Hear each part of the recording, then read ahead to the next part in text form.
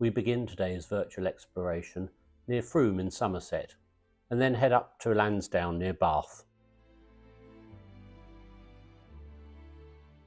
Then we'll head across to Trowbridge and Melksham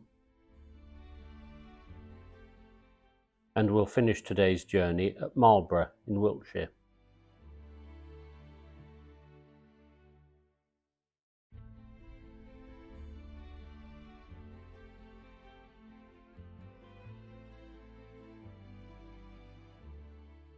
Mr. James Griggs of Fones Grove operated a flying field just north of Frome.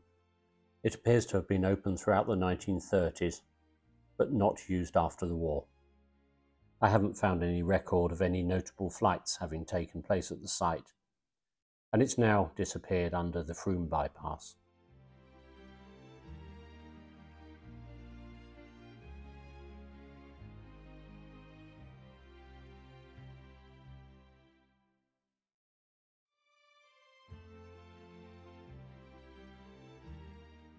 Mr. Kelson of Chapel Farm, Lansdown, operated a flying site throughout the 1930s.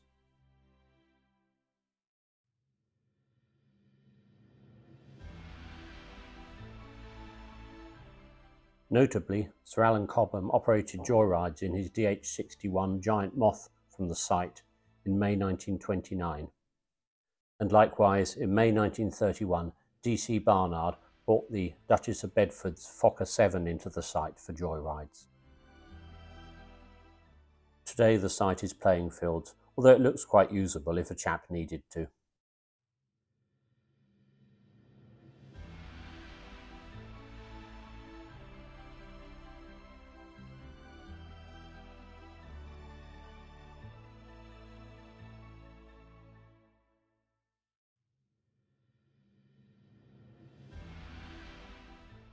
Mr. Pike of Hilperton, Trowbridge, ran a landing ground throughout the 1930s.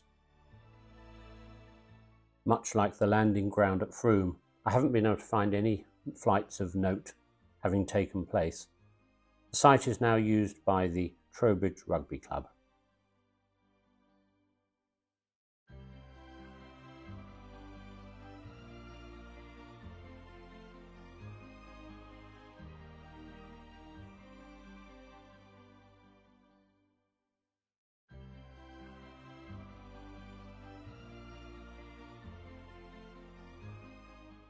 Mr. Hunt of Outmarsh Farm ran a landing ground near Melksham throughout the 1930s. It was a decent sized field, being some 700 yards long, 300 yards wide, and also had a railway halt at one end. The field was used by Sir Alan Cobham's National Aviation Day tour on the 22nd of May 1933. Today the railway and halt have long since closed, and the site is bisected by the A350 main road. However, all is not lost. Look at the top left corner of the field and you might spot an airstrip. In 2018, the Wiltshire Air Ambulance Trust moved onto Outmarsh Farm and built a 300 metre landing strip for the helicopter operations.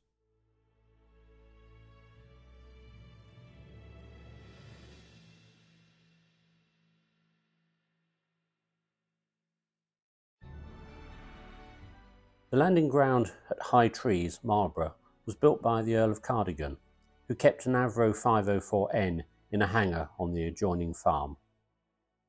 RAF training aircraft from nearby RAF Upavon used the field for landing practice. The field was also used by Reginald Ward and the Honourable Andrew Dalrymple.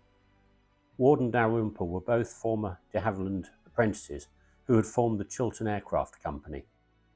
Their aircraft design, the Chiltern DW-1, had astonishing performance on low horsepower, but only four were built before the outbreak of the Second World War.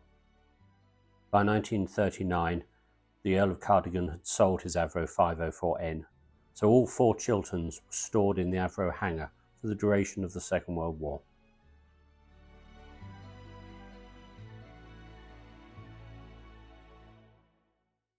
High Trees Aerodrome continued to be used throughout the Second World War by the RAF and by US forces who were stationed nearby. at the end of the Second World War, the Chiltern Company started gearing up to produce aircraft again, including gliders. Dalrymple and Ward tried to obtain a German Fieseler Storch aircraft for use as a glider tug and for low-speed aerodynamic research, but were turned down by the Air Ministry. However, one of the Chiltern draftsmen, an ex-RAF pilot called Dennis Phillips, was given permission to enter occupied Germany under the pretext of studying aircraft manufacturing techniques. He wasted little time in finding a suitable Fieseler Storch at an aircraft dump, bribed a US Army officer so he could take it, carried out minor repairs, painted on RAF roundels, and flew it back to England without any trouble at all. He and the aircraft arrived in Hungerford on Christmas Eve 1945. On Christmas Day 1945, Phillips and Dalrymple took off in the Fieseler Storch. After their third takeoff, the starboard wing was seen to break and fold back against the fuselage, and the aircraft crashed, killing them both. The Chiltern Company never built another aircraft, and High Trees Aerodrome closed. It has now reverted to farmland. Thank you for watching.